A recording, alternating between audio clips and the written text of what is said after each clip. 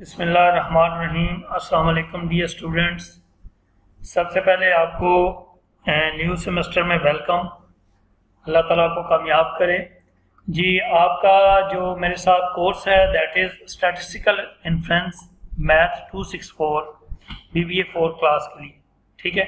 तो आज के पहले लेक्चर पे जाने से पहले हम ये देखते हैं कि हमने इनमें क्या क्या चीज़ें पढ़नी हैं और क्या उसमें ओवरऑल चीज़ें होंगी। बुक कौन सी है और लेक्चर्स का फ्लो क्या है? एक जनरल बुक है general statistical techniques in business and economics by Douglas A Lind ये ये भी बुक आप फॉलो कर सकते हैं। इंट्रोडक्शन टू स्टैटिस्टिक्स वालपूल की बुक है, ये भी फॉलो कर सकते हैं। या सिंपल बीएससी की बुक है, वो भी फॉलो की जा सकती है।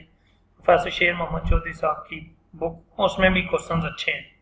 आपके लेवल तक यही तीनों किताबें आप अपने तौर पर रेफरेंस बुक के तौर पर ले सकते हैं। और दूसरी बात है कि जहाँ तक टॉपिक्स हैं तो ये टॉपिक्स में के अंदर इंशाल्लाह डिटेल में ये सारी चीज़ें होंगी और क्वेश्चंस भी पूरे पूरे इंशाल्लाह आपको मिलेंगे सॉल्व हुए हुए। ठीक है? उससे पहले हम आगे देखते हैं कि हमने जनरल आज के लेक्चर में तो हमने स्टेटिकल इन्फ्लुएंस का एक जनरल व्यू लेना है और उसके अंदर हम क्या करेंगे, क्या चीज़ें होंगी और फिर उसके अंदर आज हम नॉर्मल डिस्ट्रीब्यूशन देखेंगे। नॉर्मल डिस्ट्रीब्यूशन के अंदर उसकी एप्लीकेशन क्या होती है, उसकी प्रॉपर्टीज़ और ये वो सारी चीज़ें हम पढ़ेंगे। फिर फ्यूचर में फ्लो ये होगा कि हम नॉर्मल डिस्ट्रीब्यूशन का direct use of area table देखेंगे हमने एरिया टेबल को कैसे यूज़ करना है। तो उसके बाद होगा inverse use of area table ये सारे जब आप लेक्चर्स पे आएँगे चीज़ें सम, समझ आना शुरू हो जाएँगी। उसके बाद हमारा सैम्पलिंग का जो होगा चैप्टर या टॉपिक्स उसके अंदर हम वन सैम्पलिंग प्रॉबिलिटी सैम्पलिंग क्या होती है? फिर प्रॉबिलिटी और नॉन प्रॉबिलिटी सैम्पलिंग की टाइप्स वो हम देखेंगे। उसके बाद हम one mean one population proportion difference of two means difference of two population proportion और वन वेरियंस के सैम्पलिंग डिस्ट्रीब्यूशन पढ़ेंगे। और इनको पढ़ने की वजह क्या होगी कि हमने नॉर्मल और सैम्पलिंग को जब हम इकट्ठा मर्ज करके कॉन्सेप्ट डेवलप करेंगे तो हमारे पास स्टेटिस्टिकल इन्फ्लुएंस जो हमारा मेन सब्जेक्ट का टाइटल है, उसके फार्मूले डेवलप होंगे। तो असल फार्मूलों तक पहुँचने के लिए हम ये सैम्पलिंग और नॉर्मल का कॉन्सेप्ट पीछे से पढ़ के लाएँगे। ठीक है? तो उसके बाद क्या होगा कि हम जब बेसिक हाइपोथेसिस पे आएँगे तो हम कुछ इसकी बेसिक टर्म्स पढ़ेंगे जो ज़रूरी नेसेसरी होंगी समझने के लिए, ठीक? उसके बाद हमारे पास जिन जिन चीज़ों की हमने सैम्पलिंग की होगी, उन्हीं चीज़ों की हमने टेस्टिंग करनी होगी और उन्हीं चीज़ों की आगे हमने इंटरवल एस्टिमेशन करनी होगी। मतलब अगर वन मीन की सैम्पलिंग पड़ी है तो वन मीन की टेस्टिंग और वन मीन की एस्टिमेशन भी पढ़ेंगे। टू मीन वन प्रोपोर्शन की सैम्पलिंग अगर पढ़ेंगे तो उसका टेस्टिंग और एस्टिमेशन भी पढ़ेंगे। Difference of two means difference of two proportion और वन वेरियंस की अगर सैम्पलिंग पढ़ेंगे तो इनकी एस्टिमेशन और टेस्टिंग ये भी दोनों पढ़ी जाएगी। और फिर एंड पे हमारे पास काइस और रैप डिस्ट्रीब्यूशन के अंदर कुछ चीज़ें होंगी जो स्पेसिफिक टॉपिक्स होंगे। तो ये 32 लेक्चर्स के अंदर हम इनको सम अप करेंगे। ठीक है जी? तो ये आपका ओवरऑल फ्लो है ये फ़ाइल भी आपको मिल जाएगी। ये ओवरऑल फ्लो होगा आपके पूरे कोर्स का। सो so, पहले लेक्चर की तरफ़ जाने से पहले यहाँ पे हम इसकी बात करते हैं ये जो हमारे पास यहाँ पे आपको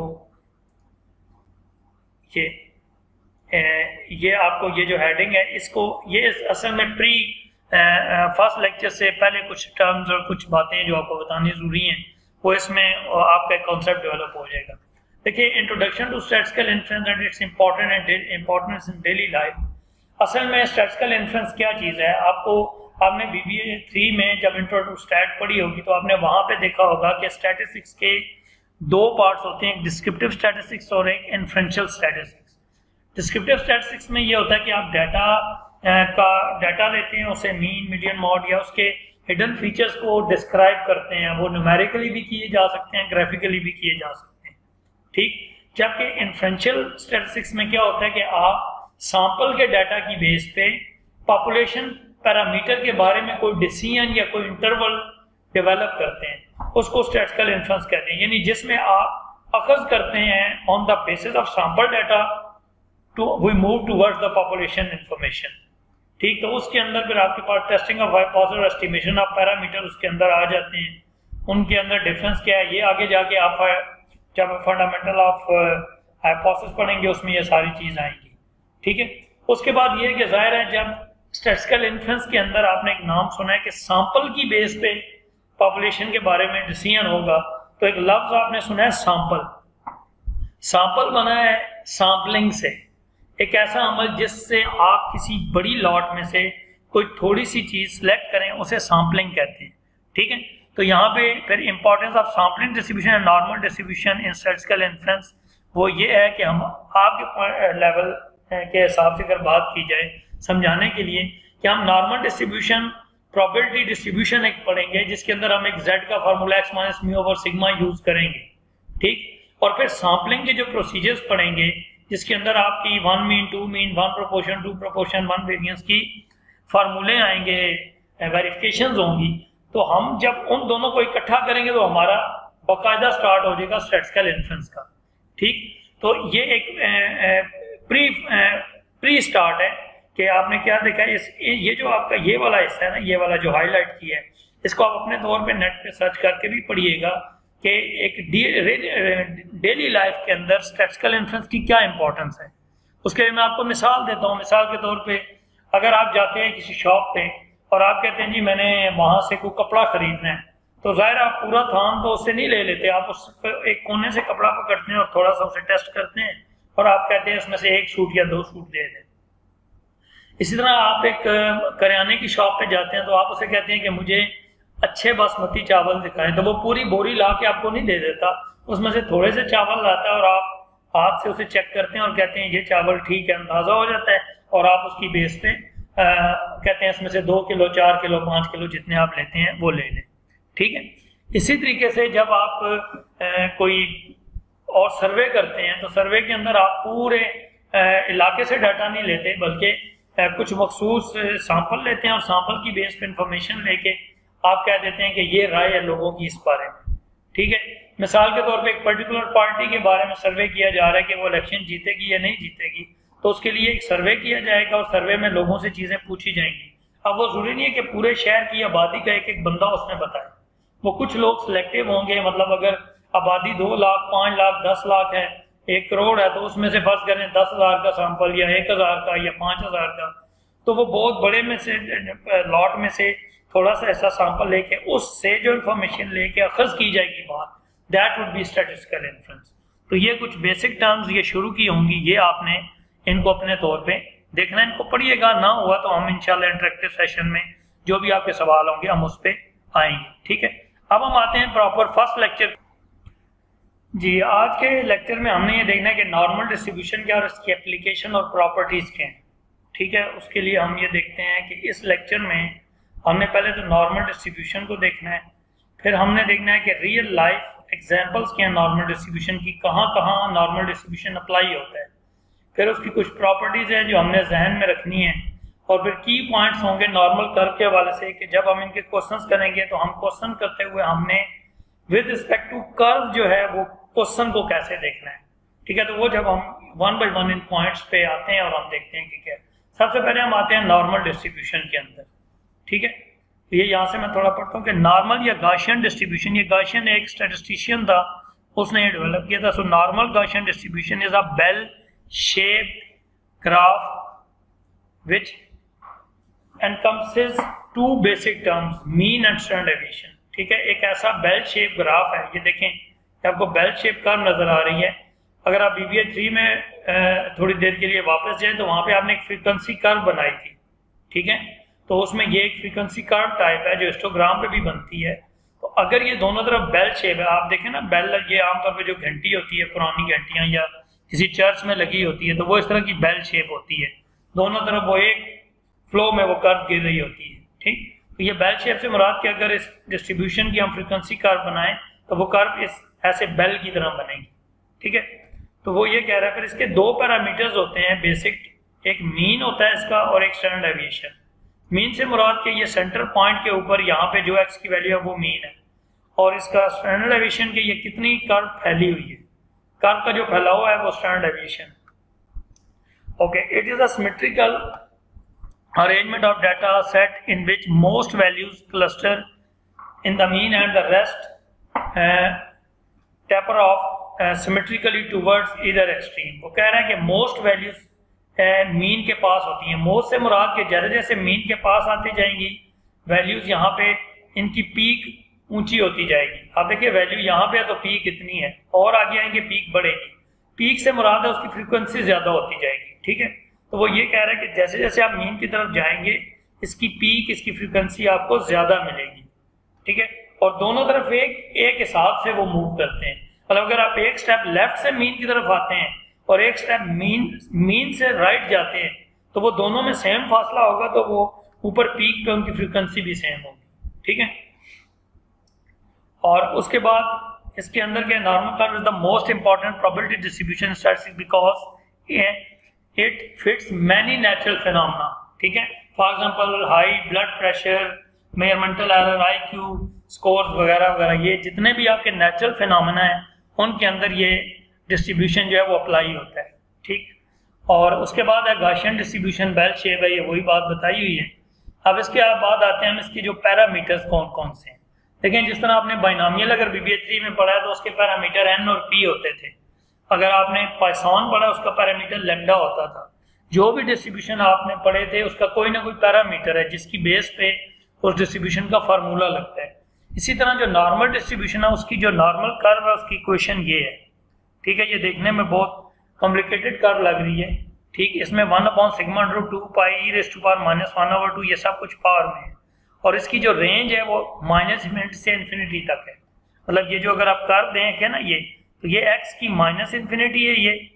ठीक, और इधर ये प्लस इन्फिनिटी तो ये पूरी रेंज इसकी इन्फिनिटी और ये कर्व जो है, ये symmetric to X axis asymptotic है इसको टच नहीं करती बस इसके पास पास ये कर्व रहती है।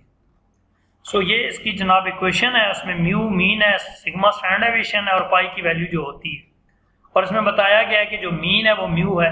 The mean of a center tendency is the distribution it is of the distribution it defines the location of the peak of the normal distribution के मीन की वैल्यू से मुराद है कि उसकी कितनी किस जगह के ऊपर इसकी मैक्सिमम uh, हाइट है या सेंट्रल पॉइंट है। ठीक है?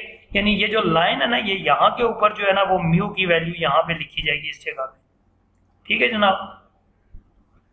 उसके बाद फिर मोस्ट वैल्यू जो है वो इस मीन के अराउंड क्लस्टर होती हैं ठीक है? और इक्वल स्प्रेड में दो, दोनों साइड पे डाउनवर्ड आती हैं।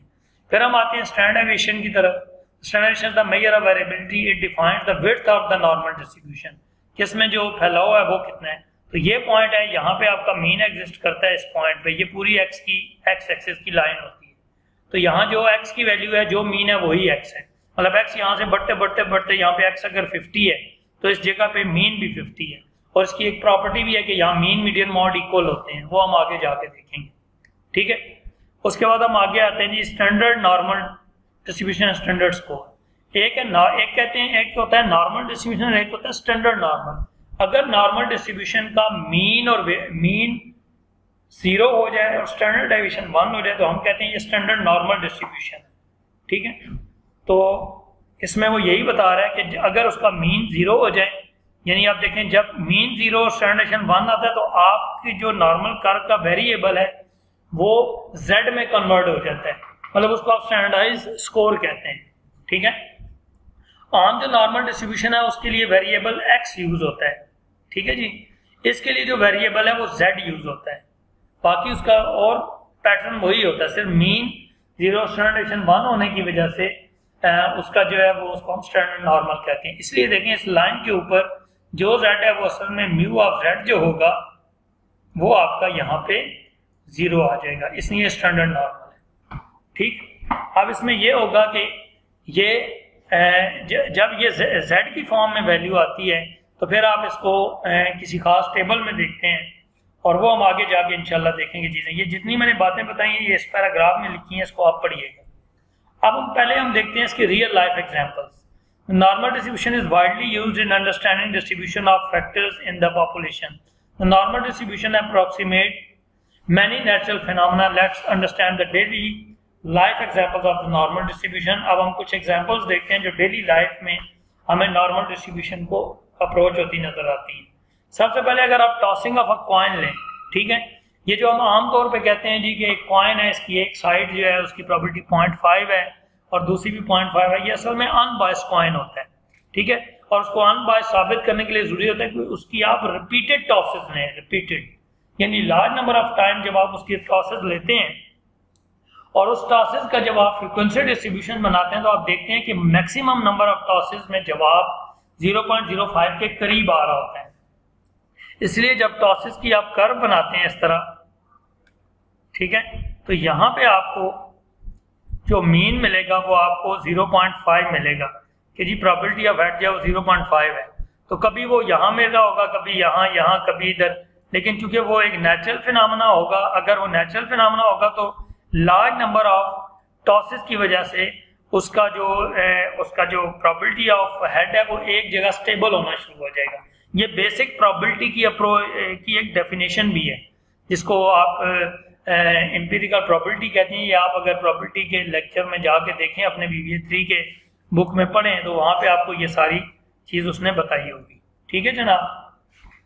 ओके उसके बाद हम आते हैं तो यही बात इसने सारी यहाँ नीचे डिटेल में लिखी हुई है। ठीक है, इसको पढ़ लीजिएगा। फिर रोलिंग ऑफ़ डाई भी ऐसे ही है। ये देखें, ये आपके सामने ये रिपीटेड टॉसेज हैं। अगर ये large number of time repeat की जाए और अगर आप दो डाइस को रोल करें और उसका पूरा डिस्ट्रीब्यूशन बनाएँ तो आप देखेंगे कि सेवन की जो प्रॉबिलिटी है वो one two three four five वो सिक्स ओवर थर्टी सिक्स है। फिर उससे पीछे सम सिक्स की प्रॉबिलिटी और सम एट की वो इक्वल फ्रिक्वेंसी रखती है। फिर सम फाइव और सम नाइन की इक्वल है। तो आप देख सकते हैं कि अगर इसके ऊपर मैं एक इस तरीके से कोई जो है वो कर्व बनाने की कोशिश करूँ तो ये मुझे एक बेल शेप यहाँ पे कर्व मिल रही है। ठीक है जी? तो इसलिए हम कहेंगे कि ये एक नेचुरल और नॉर्मल डिस्ट्रीब्यूशन को फॉलो करने वाला फिन तो ये आप इसकी डिटेल इसको पढ़ेंगे, ये सारी आपको जो मैंने आपको ये वजात दी है, इस ग्राफ की, ये सारी डिटेल नीचे लिखी हुई है, इसको पढ़ लीजिएगा। उसके बाद हम नीचे आते हैं, हमें मिलता है जैसे हाइट का डाटा ठीक है? अगर हम डेली लाइफ में अपने इर्द गिर्द के लोगों की हाइट को मतलब हम स्टडी करें तो आप देखेंगे बहुत छोटे कद वाले लोगों की जो हाइट है, वो आपको बहुत कम लोग मिलेंगे। मतलब अगर मैं कहूँ जैसे एक बहुत आम तौर पे आपने देखे होंगे ड्रामों में या इस तरह छोटे कद के लोग करेक्टर्स आते हैं तो उनकी उनकी हाइट वाले बहुत इक्का दुक्का लोग होंगे। और अगर बहुत लंबे लोग हों, जैसे आलम चन्ना एक था या है, उसकी हाइट के लोग हैं तो वो भी आपको, उनकी फ्रिक्वेंसी भी बहुत कम मिलेगी। लेकिन जो नॉर्मल हाइट के लोग हैं, वो आपको यहाँ सेंटर में आपको इस जगह पे यहाँ पे आपको मिलेंगे। ज़्यादातर लोगों की हाइट यहाँ पे आएगी। ठीक है? तो ये उस कॉन्सेप्ट के तहत बता रहा है कि जो हाइट है ना किसी भी सिनेरियो की, ठीक है? जो हाइट का डिस्ट्रीब्यूशन है, वो भी नॉर्मल डिस्ट्रीब्यूशन को अप्रोच करता है। वो नॉर्मल और नेचुरल फिनोमिन है। ये इसकी डिटेल यहाँ पे नीचे सारी आपको मैंने दे दी है। उसके बाद आई क्यू टेस्ट देखें।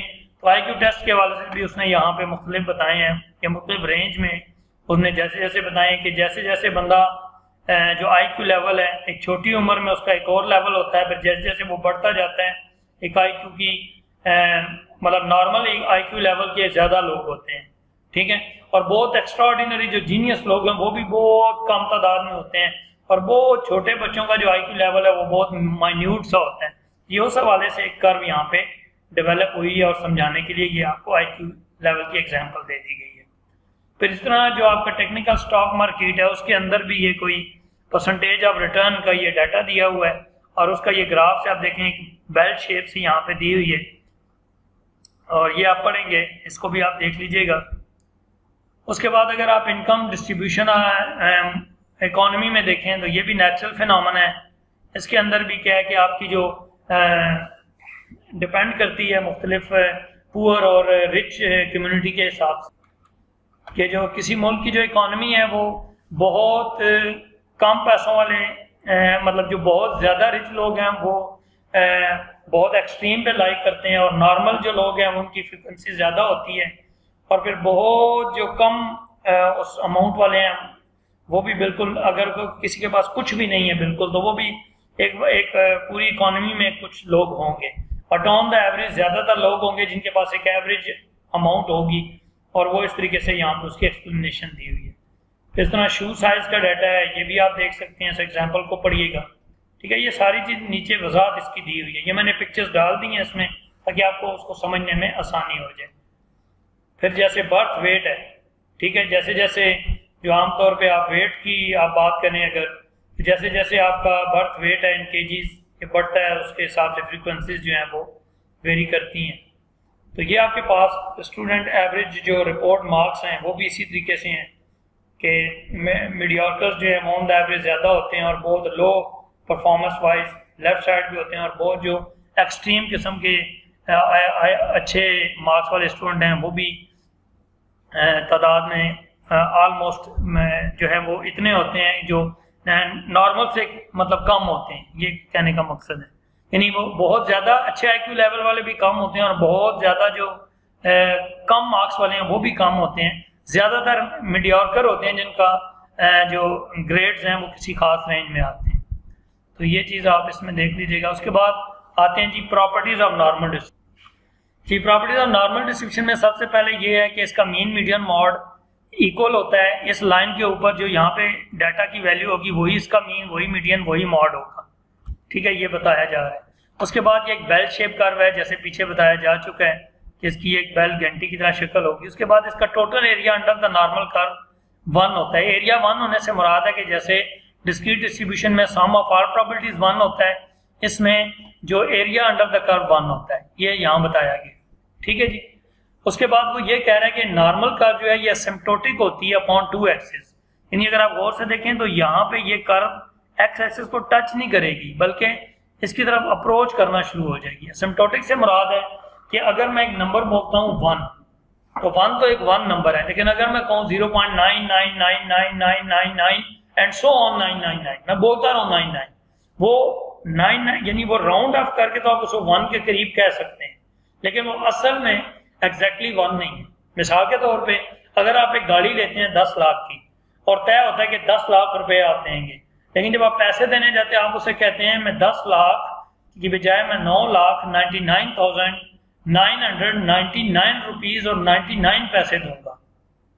ठीक है? तो अब अब ये एक बड़ी, एक अजीब सी बात है कि जहाँ आप इतने दे रहे हैं इसको एक रुपया और दे के पूरे दस लाख दे दें। अब मैथमेटिकली वो पूरा दस लाख नहीं है, लेकिन अप्रोच वो दस लाख को कर रहे हैं। तो ये एसेम्टोटिक का कॉन्सेप्ट है।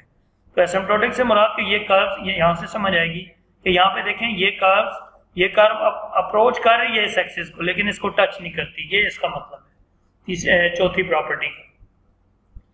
फिर यह है कि ये जो आपके पास जो कर्व है, वो तीन हिस्सों में डिस्ट्रीब्यूट होती है between X plus minus mu graph curve downward ठीक है? यानी एक्स से सिग्मा जैसे जैसे आप यहाँ पे जाएँगे, इससे कर्व जो है वो डाउनवर्ड आएगी इसकी तरफ़। और जैसे आप नीचे लेफ़्ट साइड में आएँगे तो कर्व इस साइड पे डाउनवर्ड होगी। ठीक है? राइट और राइट और राइट और लेफ़्ट अपवर्ड डाउनवर्ड का कॉन्सेप्ट है। ठीक है जी? जी तो ये पांचवी प्रॉपर्टी क्या थी कि म्यू माइनस सिग्मा और म्यू प्लस सिग्मा के दरमियान यहाँ पे जो कर्व है, वो ऐसे डाउनवर्ड कर्व है सिमेट्रिक फॉर्म में।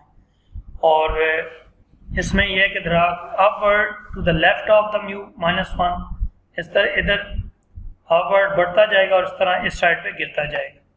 और उसके बाद जहाँ पे ये पॉइंट आएगा, जहाँ पे ये कर्व ऐसे डाउनवर्ड से यूँ अपवर्ड शेप इख्तियार करता है और यहाँ अपवर्ड से यूँ डाउनवर्ड शेप इख्तियार करता है, इसको यानी कनकेविटी चेंज करता है। कनकेव अप यहाँ पे कनकेव अप मतलब ये इसका बात का मतलब है कि यहाँ पे कर्व ना यूँ कनकेव अप है, यानी ऐसे। और इसके बाद अगर देखा जाए तो ये कनकेव डाउन है, यानी ऐसे। इस तरह, इसके बाद ये कनकेव डाउन है, यूँ। और अगर इसके बाद देखा जाए तो ये कनकेव अप है। तो ये कहना चाह रहा है कि इस mu minus sigma mu plus sigma पे जाके से पहले कनकेव अप है और फिर कनकेव डाउन और फिर कनकेव डाउन और फिर कनकेव अप है। तो जहाँ पे ये कनकेविटी चेंज हो रही है, इसको पॉइंट ऑफ़ इन्फ्लेक्शन बोला जाता है। ठीक है? जहाँ पे कर्व अपना कनकेव अप से कनकेव डाउन होती है उस के नीचे जो पॉइंट एक्स का है that is point of inflection ठीक है जी?